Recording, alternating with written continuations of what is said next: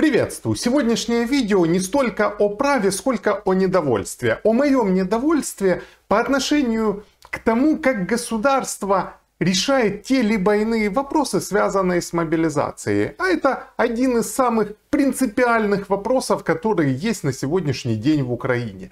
И вот сегодня, когда мы ждем с вами принятия законопроекта 10449, законопроекта, в котором вообще непонятно, что будет написано. Мы не знаем, будут ли иметь отсрочку те мужья, у которых жены с инвалидностью третьей группы. Мы не знаем, будут ли иметь отсрочку сыновья, у которых родители имеют инвалидность.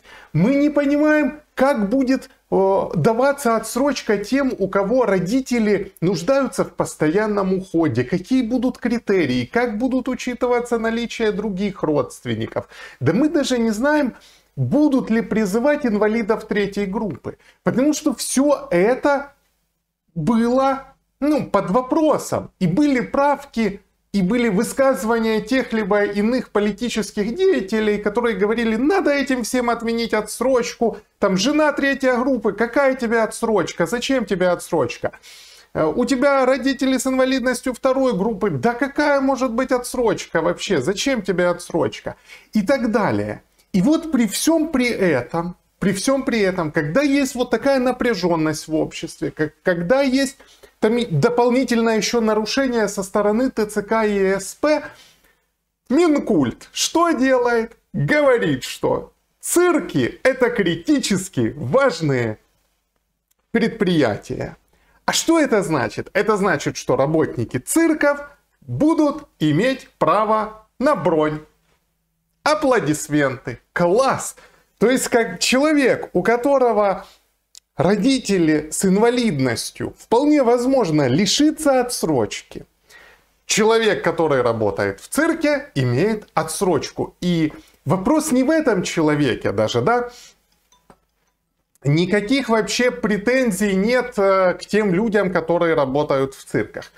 Но вопрос, давайте честно скажем, это действительно критически важные предприятия, я прекрасно понимаю, что в вопросе отсрочки не может быть равенства. Ну вот совсем.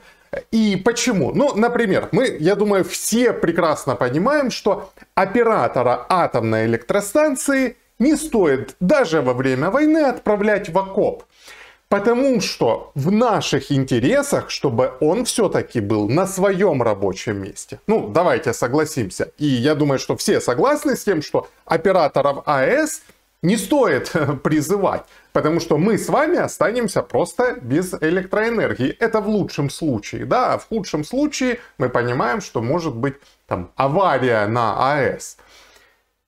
То есть уже равенства нет, да, и, кстати, здесь мы можем говорить о той категории, которая несколько, ну, такая споплюжена, да, у нас публичный интерес – Хотя это правильная категория, это хорошая категория, просто не нужно ею злоупотреблять. То есть вот когда мы бронируем оператора атомной электростанции, это публичный интерес, потому что в интересах абсолютно всех, чтобы он был на своем рабочем месте и обеспечивал работу АЭС. Цирк. Вопрос. Вопрос. Какую же такую критически важную для жизнедеятельности страны в условиях военного положения несет цирк. Какую критически важную функцию он выполняет? А? Вот интересно мне.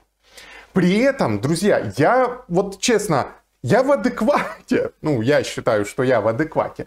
Например, когда Минкульт признает критически важными предприятиями и, соответственно, э, подлежащему бронированию музеи, я не возражаю абсолютно, потому что да, там можно сказать, что музей это что такое? Это история нашей страны, история нашей культуры. И это нужно сохранить. И мы при, прекрасно понимаем, что в музеях есть те ценности, которые, ну, безусловно, нужно сохранить и для нас сейчас, и для последующих поколений. Это вопрос нашей культуры, выживания нации, сохранения культуры нации, ее истории вообще вопросов нет. Но когда вы признаете цирк критически важным предприятием, вы же должны понимать о последствиях. Вы же должны понимать о том, как э, отреагирует на это общество. До этого у нас были там истории с верблюдами непонятные. Кстати, вопрос, чем они разрешились, да? Ну вот, честно, у меня такое ощущение, что вот люди, которые принимают эти решения, они не думают о их последствиях, о последствиях этих решений, о том, как эти решения будут восприняты в обществе и как это влияет на восприятие мобилизации в целом. И здесь я хочу сказать, друзья, что мы, э, ну вот, нам сложно это делать, но мы должны прорваться через вот эти эмоции, да, и понимать, что в условиях, когда страну атакуют, да, мобилизация необходима, и ну, без этого крайне сложно будет существовать любому государству. И я более чем уверен, что это будет происходить в любом государстве, даже европейском, даже в Соединенных Штатах, когда это коснется их.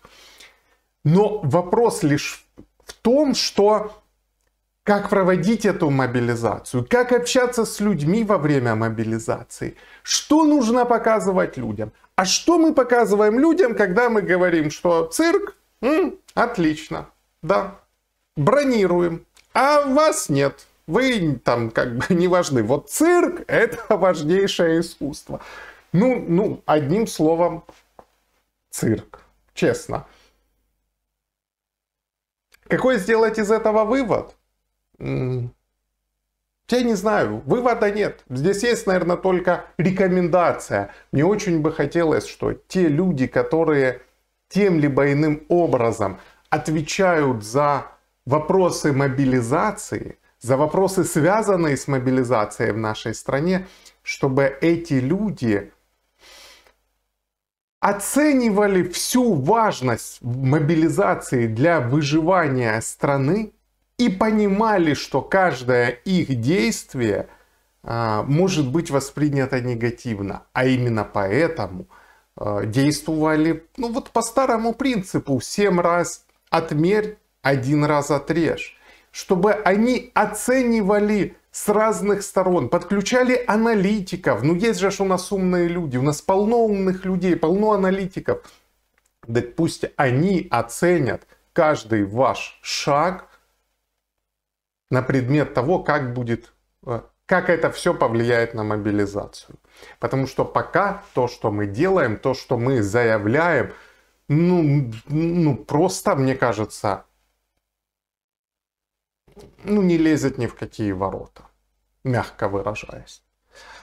Друзья, вот такое видео получилось. Как я и говорил, я предупреждал, что это не о праве, что это о недовольстве. И, наверное, на этом у меня все. Друзья, если вы считаете, что я не прав, э, давая такую оценку подходам к вопросам мобилизации, не знаю, давайте обсудим в комментариях, поговорим об этом. Может, действительно, я все-таки не все вижу, и вы скажем так, направите меня в нужное русло. Встретимся в комментариях, обсудим это. Все, друзья, если кто-то разделяет мои мысли, ну, тогда прошу поставить лайк этому видео, подписаться на мой канал и можем обсудить также это видео в рамках моего YouTube, ой, YouTube, какого YouTube? Телеграм-канала, конечно же. Его название вы вот здесь сейчас видите. Традиционно вам пожелаю удачи, благополучия и, конечно же, мира. Пока-пока.